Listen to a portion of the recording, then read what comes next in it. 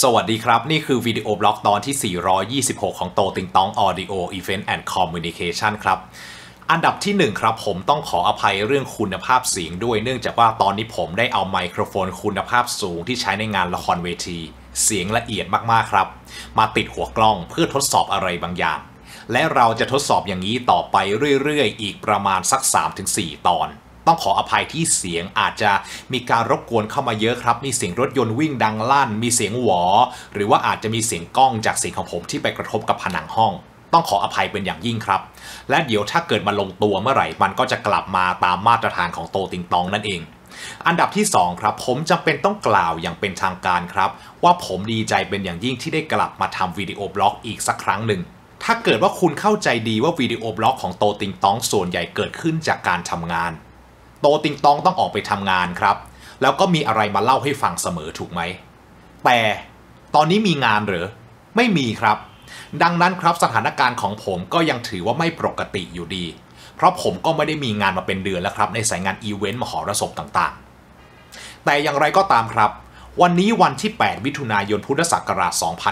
2563 ผมได้ดูข่าว 2 ข่าวดังต่อไปนี้ครับ ผมจะไม่โชว์ภาพข่าวนะครับ ผมไม่อยากพาดพิงถึงใคร แค่นี้เขาก็ลำบากกันมากพอแล้ว ข่าวที่ 1 ครับ โรงหนังแห่งหนึ่งใจกลางกรุงเทพมหานคร โดนห้างซึ่งเป็นเจ้าของพื้นที่ ให้ปิดทำการ 3 วันเพื่อหามาตรการ social distance ให้ดีกว่านี้ สืบเนื่องมาจากมีอีเวนต์ก่อนหน้าครับ จัดปุ๊บ social distance ถูกละเลยที่ลานบริเวณหน้าโรงหนังนั่นเอง แล้วก็ข่าวที่ 2 ครับ คือบริษัทรถทัวร์ที่ส่งคนข้ามจังหวัดเนี่ยครับไปสัญญาลูกค้าก่อนหน้าว่าจะมี social distance นั่งที่นั่ง เว้นที่นั่ง แต่ว่าไม่ใช่ครับ ขึ้นไปบนรถคนเต็มเลยครับ ทุกที่นั่ง ไม่มีการเว้นเลยแม้แต่ที่นั่งเดียว ขนส่งก็เลยสั่งให้คืนเงินผู้โดยสารทุกคนครับ และรู้สึกว่าจะโดนปรับหรือโดนอะไรด้วยสองข่าวเนี่ยครับ เป็น 2 ข่าวที่ผมต้องกลับมาทำวิดีโอบล็อกครับ ถึงแม้ว่าตอนนี้ผมจะไม่ได้มีสต็อกอะไรอยู่ในมือเลยก็ตาม ถึงแม้ว่าตอนนี้การผ่อนปรนจะออกมามากขึ้น และทางภาครัฐเนี่ยก็ได้ออกมาบอกแล้วว่า จะให้เปิดพวกสถานจัดการประชุม สถานเริงรม รวมไปจนถึงมหรสพต่างๆ ให้เปิดทำการได้ แต่ว่าจะต้องมีข้อแม้ ข้อแม้ตรงนี้เนี่ยแหละครับ ถึงแม้ว่าเราจะเห็นแล้วว่าเรากำลังกลับมามีงาน แต่งานที่เราทำรวมไปจนถึงรายได้ที่ได้ โดยเฉพาะอย่างยิ่งเลยครับ ในงานแสงเสียงภาพมืออาชีพ แล้วก็งานอีเวนต์มหรสพต่างๆ จะน้อยลงครับ ด้วยเหตุผลดังต่อไปนี้ Social Distancing เนี่ยครับคือตัวดีเลย คุณลองจินตนาการดูนะครับว่าถ้าคุณเข้าไปชมคอนเสิร์ต คุณอาจจะไปดูใน Impact Arena สนามราชมังคลา สนามกีฬาแห่งชาติ หรือว่าคอนเสิร์ตฮอลล์ที่ไหนก็ตามที คุณต้องซื้อตั๋วใช่ไหมครับ ที่นั่งแต่ละที่นั่งต้องมีตั๋วใช่ไหมครับ เวลาที่โปรโมเตอร์ หรือว่าลูกค้าเอกชนรายใดที่ต้องการจัดงานในลักษณะที่ต้องเอาคนจำนวนมากเข้าไปรวมในสถานที่แห่งหนึ่งเนี่ย มันจะมีสิ่งที่เรียกว่า cost per pax ครับ หรือพูดกันง่าย ๆ ก็คือต้นทุนต่อหัวนั่นเอง ทีนี้เนี่ยครับ งานอีเวนต์เนี่ยไม่ว่าจะเป็นงานเปิดตัวสินค้างานสัมมนาเสวนางานเวิร์กช็อปต่างๆ รวมไปจนถึงมหรสพทุกชนิดทุกประเภท จะต้องมีสิ่งที่เรียกว่า cost per pax ตรงนี้ครบถ้วนครับ ทุกประเภทงาน ไม่มีใครบ้าจัดงาน โดยที่ไม่คำนึงถึงตรงนี้ครับ แน่นอนนะครับว่าลูกค้าหรือว่าโปรโมเตอร์แต่ละเจ้าก็จะมีสูตรในการคำนวณที่ไม่เหมือนกัน อย่างงานคอนเสิร์ตเนี่ยครับก็จะดีหน่อย cost per pax เนี่ยสามารถนำมาถัวเฉลี่ยกับเงินที่ได้จากสปอนเซอร์ได้ตามมาตรการปกติ ใช่ไหมครับ แต่ว่า ถ้าเราไปเจอสิ่งที่เรียกว่า social distancing เข้า คุณจะเห็นตัวอย่างจากในโรงหนังนะครับ ในโรงหนึ่งโรงจะสามารถจุคนได้แค่ประมาณ 25%ของที่นั่งทั้งหมดเท่านั้น นั่นหมายความว่าสถานที่จัดมหรสพงานคอนเสิร์ตงานอีเวนต์ต่างๆ ของคุณ จากเดิมทีพื้นที่เท่ากันค่าเช่าห้องเท่ากันจุคนได้ 600 คน คุณจะจุคนได้แค่ 150 เท่านั้นก็คือหาร 4 ไปทำให้ cost per pax มันเพิ่มขึ้นครับ และพอเราพูดถึงงานคอนเสิร์ต งานมหรสพต่างๆ ที่แน่นอนนะครับว่าลูกค้าหรือโปรโมเตอร์จะต้องไปหาเงินจากสปอนเซอร์มาถัว cost per pax ตรงนี้ มันจะทำได้ยากครับ ยากลงกว่าเดิมมาก เพราะว่าตัวของผู้ที่ให้สปอนเซอร์ นอกจากช่วงเวลานั้นเขาต้องมีงบการตลาดแล้ว เขาก็ต้องคำนวณด้วยครับว่าเงินที่เขาจ่ายลงไปเป็นค่าสปอนเซอร์ เขาได้อะไรกลับมา และคาดการณ์ว่าจะมีคนเนี่ยที่มา reach หรือว่ามา engage กับกิจกรรมทางการขายของเขา หน้าบริเวณงานมากขนาดไหน ก็แน่นอนนะครับว่าจำนวนคนมันน้อยลงใช่ไหมครับ เหลือแค่ประมาณ 25%สปอนเซอร์ก็ไม่อยากจ่ายแล้วครับ จ่ายแล้วชักจะ ไม่คุ้ม และถ้าเกิดลูกค้าเอกชนหรือว่าโปรโมเตอร์ที่จัดงาน ยังไม่สามารถคิดสมการใหม่ได้ที่จะทำให้ cost per pax กลับมาใกล้เคียงของเดิมบ้าง เราจะยังไม่เห็นงานมหรสพที่แบบสดๆ ในช่วงเวลานี้ครับ แล้วก็เป็นงานหลักของผมด้วย เงินหายไปเยอะครับ แต่ว่า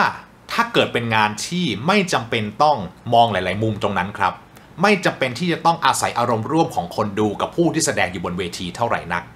ไม่ได้ต้องมอบ experience หรือประสบการณ์ในการชมที่มากมาย แต่เป็นงานที่จำเป็นต้องทำครับ เช่นเวิร์กช็อปต่างๆ งานสัมมนาเสวนาทอล์กโชว์อะไรประมาณนี้ จะมีการขยับขึ้นมาเป็นแพลตฟอร์มออนไลน์มากขึ้นครับ และเมื่อเราใช้คำว่าออนไลน์ จะเห็นได้อย่างชัดเจนเลยครับว่าผู้ประกอบการด้านแสงเสียงภาพมืออาชีพรวมไปจนถึงคนดูแลหรือรับจัดงานอีเวนต์ จะต้องคิดหนักพอสมควรครับ มันจะไม่ใช่ norm ที่เราทำกันมา อย่างแรกเลยครับก็คือทุกอย่างจะถูก downscale ครับ downscale ลงมาอาจจะเหลือแค่สเกลประมาณห้อง 15คูณ15 เมตร แค่นั้นเอง เพื่อให้เป็นสตูดิโออเนกประสงค์ ดังนั้นครับ การจัดเวทีก็จะประหยัดลงครับ การใช้ prop การทำฉากเนี่ย ก็จะประหยัดลงลูกค้าจะไปหา solution ที่มีความยั่งยืนหรือ sustainability มากขึ้นนั่นก็คือพวกจอวิดีโอวอลต่างๆจอ LED ที่เป็นหลอดไฟเม็ดๆอาจจะถูกใช้งานน้อยลง เพราะว่าในเมื่อเขาไม่จะเป็นต้องจัดในห้องใหญ่ ไม่จำเป็นต้องใช้จอที่มีความสว่างสู้แสงต่างๆ อีกต่อไปครับ และถ้าเกิดเราใช้จอ LED ในห้องที่เล็กมาก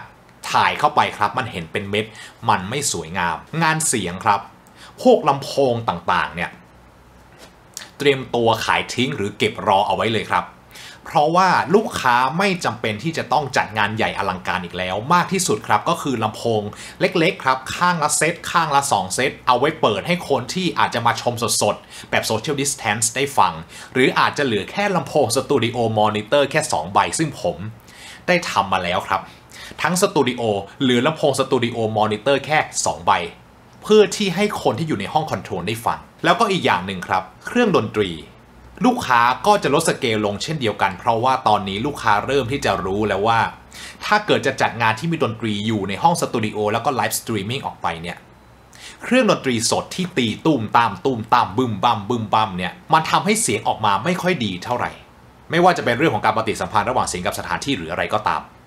ก็จะมีการเปลี่ยนไปครับ ไปใช้สิ่งที่เป็นไฟฟ้ามากขึ้นกลองไฟฟ้า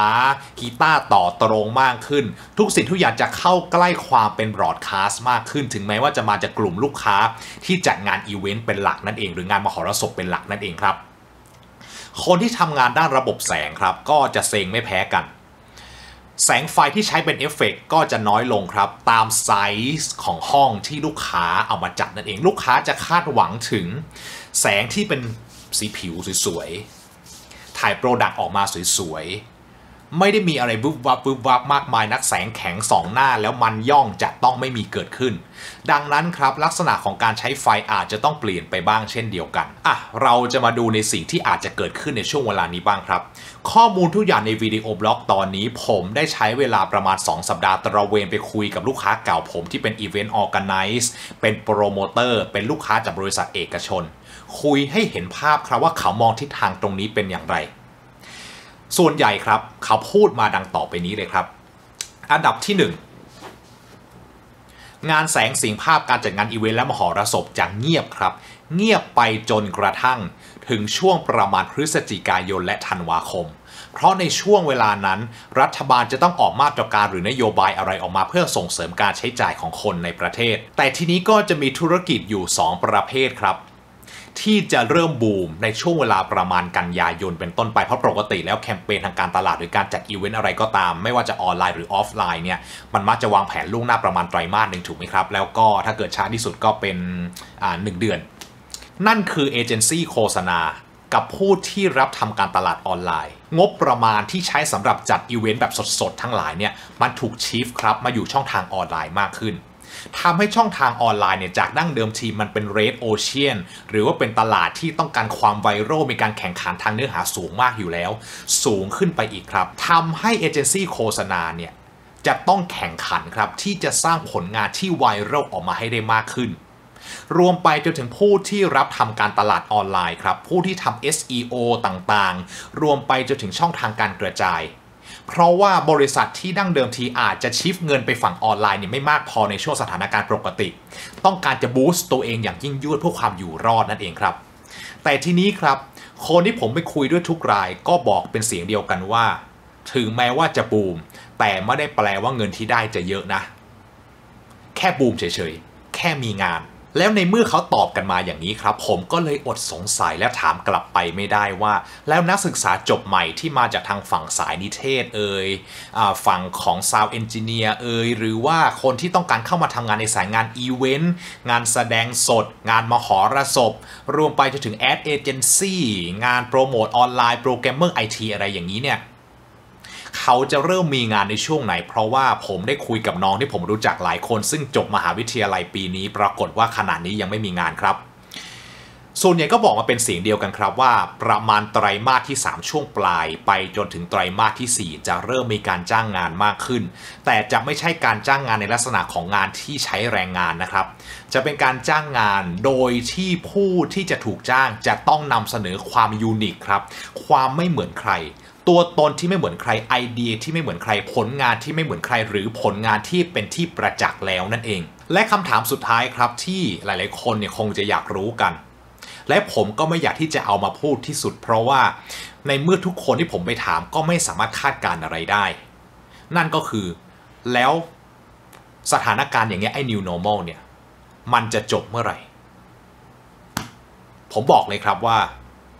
สิ่งที่ผมจะพูดต่อไปนี้คือการคาดคะเน จากคนที่ผมไปคุยด้วยล้วนๆนะครับ เขาบอกเลยครับว่าถ้า scenario สมมุติ เราได้วัคซีนในวันที่ 1 มกราคมพุทธศักราช 2564 กว่าที่ทุกคนจะได้รับวัคซีนกันทั่วหน้าในประเทศไทยน่าจะอยู่ในช่วงประมาณเดือนพฤษภาคม อันนี้ก็คือถือว่าเป็นเสียงลือเสียงเล่าอ้างนะครับ ผมไม่ได้ต้องการ confirm อะไรแทนภาครัฐ ถ้าเกิดว่ามันเป็น scenario อย่างนี้จริงที่เขาจำลองขึ้นมา กว่าที่งานมหรสพงานอีเวนต์งานละครเวทีงานอะไรจะกลับมา ก็จะอยู่ในช่วงเดือนประมาณกรกฎาคมหรือสิงหาคมเป็นต้นไปครับ ที่จะเริ่มกลับมาปูตามปกติ แต่ถึงแม้ซีนารีโอจำลองตรงนี้ จะถูกทำจนสำเร็จ อันนี้ก็คือสมมุตินะครับ ไม่เกี่ยวกับข้อมูลจากทางภาครัฐ คือการที่ผมไปคุยมาอย่างเดียว มันก็ไม่ได้แปลว่าพฤติกรรมของลูกค้าจะกลับเข้าสู่สภาวะปกติก่อนที่จะมีโควิดนะครับ มันไม่ใช่อย่างนั้น มันเป็นสิ่งที่นักการตลาดทุกคนครับ รวมไปจนถึงเจ้าของธุรกิจทุกคนในทุกสาขาอาชีพ จะต้องมองดีๆแล้วครับ จะต้องมองดีๆแล้ว แล้วก็ต้องพยายามปรับตัวไป ซึ่งในวิดีโอบล็อกตอนหลังๆ จากนี้ครับ ผมจะเริ่มนำเสนอสิ่งที่เกี่ยวข้องกับ New Normal มากขึ้น เราควรจะต้องทำอะไรมากขึ้น มีประกาศอะไรออกมามากขึ้น ถึงแม้ว่าวิดีโอบล็อกของผม ตามปกติแล้วเราจะไม่ได้ทำโดยอ้างอิงช่วงเวลาใดก็ตามเพื่อให้ทุกตอนมันมีประโยชน์ตลอดไป แต่ช่วงเวลานี้หลีกเลี่ยงไม่ได้ครับ เพราะว่า New Normal อาจจะทำให้ทุกสิ่งทุกอย่างที่ Channel โตติงต้องทำมา เปลี่ยนไปอย่างสิ้นเชิง และถาวรเลยก็ได้นั่นเองครับ และเดี๋ยวเราก็จะได้รู้กันครับ พร้อมๆ กันนั่นแหละครับว่า เมื่อเวลามันผ่านไป มันดีขึ้นหรือแย่ลงหรือมันเปลี่ยนไปอย่างไร สวัสดีครับ